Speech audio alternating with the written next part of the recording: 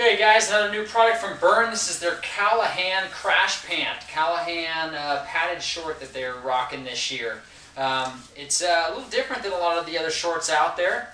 It's made of a really lightweight mesh material and that, that's not too uncommon. A lot of padded shorts are made out of that. Very arid.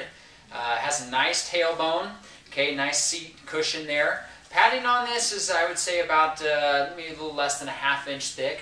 So you're not going to get a ton of padding on it, but certainly going to take the edge off things. The tailbone section does have uh, some plastic plates that kind of cover the padding, which makes it nice. Uh, other unique feature on this is it has kind of this waist harness, if you can see, and this actually will cover your lower back. So it'll give you a little lower back protection. Has a strap that kind of comes around. This is actually going to kind of come right around your belly area.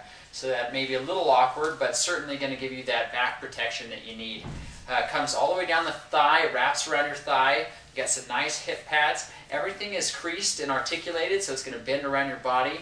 Going to be a very arid, very nice short to wear, not going to be uh, uncomfortable at all. Uh, other cool features, it has these snaps on it, and Bern also has hoodies and uh, kind of a, a, bigger protective top that can fit underneath the hoodie, and with that can snap down to these pants, so it kind of becomes all one unit.